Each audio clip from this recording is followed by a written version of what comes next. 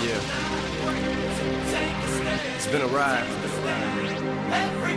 I guess I had to go to that place to get to this one. Now, some of you might still be in that place. If you're trying to get out, just follow me.